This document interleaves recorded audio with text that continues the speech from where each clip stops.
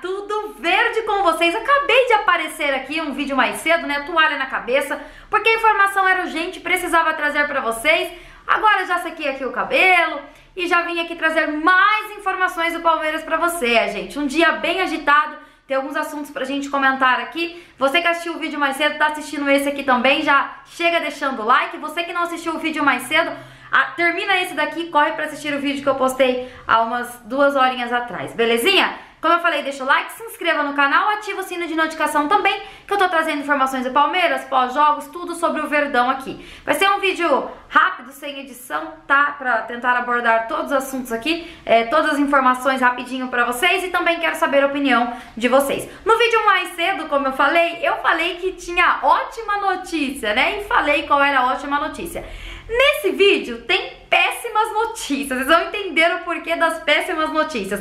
Eu quero começar falando primeiro sobre é, o Paulistão agora ser a partir do próximo ano, ah, do próximo ano na Rede TV. Desculpa, gente, na Record Rede TV, na Record. É há muito tempo de canal aqui eu venho batendo é, na tecla de que algo deveria ser feito para mudar esse monopólio que tem na Globo. E a gente já viu algumas respostas, né? É, o esporte, o, o, próprio esporte interativo que, que comprou alguns, uh, alguns jogos aí do Campeonato Brasileiro de alguns clubes, uh, Libertadores também agora passando no SBT. Aos poucos, aos poucos, isso, esse cenário de que só a Globo podia tudo, era tudo no horário da Globo, está mudando, gente. E agora teremos o Paulistão aí na Record TV aberta, né? Para quem não tem condições de, de, de pagar aí, de de ter uma assinatura todo mês, você vai ter a opção de ver, principalmente quando o seu time chegar na final, porque a Record vai mostrar as duas finais tá bom? É o jogo da ida e o jogo da volta. Então eu, eu acho isso muito produtivo. É, é, uma, é, um, é um avanço, né? A gente ver que a gente não tá dependendo mais tanto da Globo assim, agora também com esse novo. É, eita lasqueira, o alarme do celular aqui. com, com essas novas plataformas, YouTube, isso tudo tá se modernizando e a Globo ficando para trás, né? Então eu fiquei muito feliz com essa informação e queria trazer aqui para vocês. Agora vamos lá. Que tem mais assunto pra gente falar. Quando eu falei péssima notícia, a torcida pode me entender mal. Bom, gente, ficaremos novamente no próximo mês, no começo do próximo mês, duas semanas sem Palmeiras.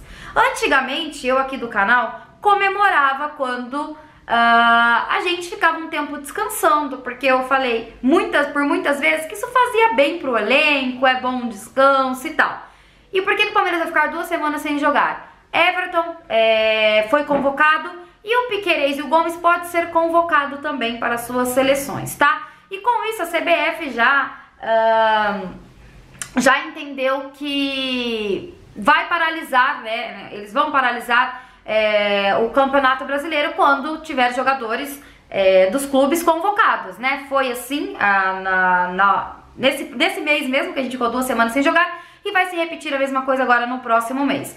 Cássia, mas por que péssima notícia? A gente vai descansar, dá tempo de treinar e tal. Porque às vezes que o Palmeiras ficou esse tanto de tempo sem jogar o resultado na volta não foi favorável, não foi legal, não foi bom, não foi, foi péssimo. Então, pra mim, né, pra mim é péssimo saber que o Palmeiras vai descansar duas semanas e vai adiar essas três rodadas, se eu não me engano, é contra o Bahia, contra o América e contra o Bragantino, tá? Então vai ser adiado esses jogos e infelizmente, tomara que dessa vez seja felizmente, né? Mas enfim, a minha opinião, gente, não gostei. É porque assim, é, a gente pensa já nos, nos últimos retrospectos, né, de descanso que o Palmeiras teve. Pode ser diferente, como eu acabei de citar. Vamos aguardar para ver. Tomara que tudo mude, tá? Outra notícia que eu queria trazer para vocês, que não é tão legal assim, eita, Cássia, véspera de clássico, a culpa não é minha.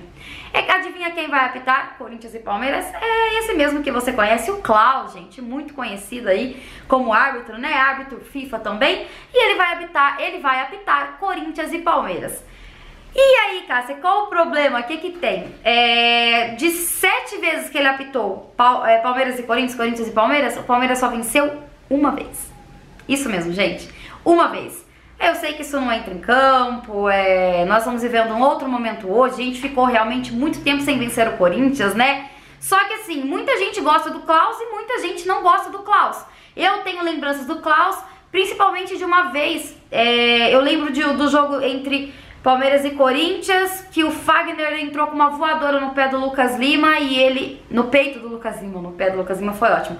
No peito do Lucas Lima e ele simplesmente fingiu, fingiu demência, não expulsou. Uma, não, não, expulsou, não expulsou o Fagner, né? É, enfim, a torcida do Palmeiras entende que ele não é um árbitro para apitar um jogo do Palmeiras e Corinthians, ainda mais com esse retrospecto. Mas, gente, espero do fundo do coração que não aconteça nada demais, que ele seja justo tanto para um lado quanto para o outro, não precisa beneficiar o Palmeiras, a gente não precisa disso e também não precisa ferrar com o Palmeiras, né? Que seja justo. Eu quero saber sua opinião porque eu vi a torcida, é, inclusive, reclamando ontem no comentário, Cássia, você não vai falar do árbitro que vai apitar aí Palmeiras e Corinthians. Aí, até então, nem sabia que era o Klaus. Eu vim saber hoje que era o Klaus e aí estou trazendo aqui pra vocês. Eu quero saber a opinião de vocês. Você gosta de ver o Klaus apitando um jogo do Palmeiras? Você gosta de ver o Klaus apitando aí, né, qualquer jogo do Campeonato Brasileiro? Enfim, vocês gostam dele? Deixa a opinião de vocês aqui. Belezinha? E só pra finalizar o vídeo,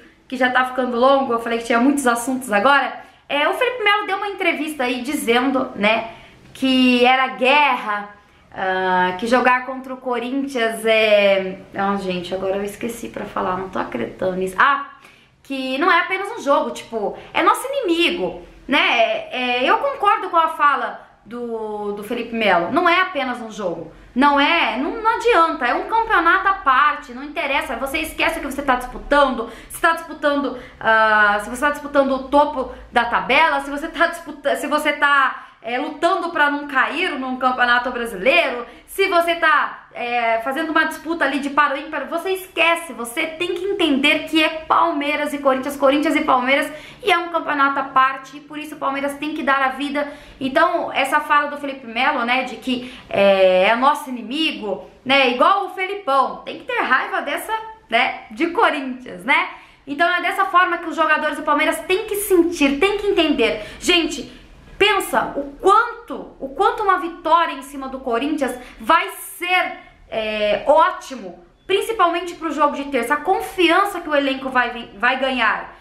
Muita gente, eu tô vendo que a torcida não tá ligando, não tá aquela empolgação, nossa, é Palmeiras e Corinthians. A torcida realmente tá pensando no jogo de terça. Mas vamos desligar a chavinha um pouquinho, pensar que o Palmeiras precisa vencer o Corinthians, continuar com um retrospecto bom em cima deles, né? Porque a gente já teve aí alguns anos que não foram tão bons assim, que a gente estava desesperado, voltamos a vencer o Corinthians e que a gente continue dessa forma. Então precisamos continuar vencendo e que o, o elenco do Palmeiras entenda, né, que é um campeonato à parte que eles precisam dar a vida. E aí, terça-feira, lá, é, acabou o jogo contra o Corinthians amanhã, a gente já começa a pensar no jogo de terça, né? Mas vamos focar e que a gente vença, principalmente pra gente continuar na disputa, né, do título do Campeonato Brasileiro. Torcer também pro Atlético perder depois, mas primeiro, tor primeiro torcer pro Palmeiras vencer o Corinthians. Quero saber sua opinião é, como tá a sua expectativa para esse jogo? Você acha que o Palmeiras vence? De quantos? Enfim, deixa aqui nos comentários. Amanhã vai ter react ao vivo, tá, gente? Eu não sei quantas pessoas vai estar aqui,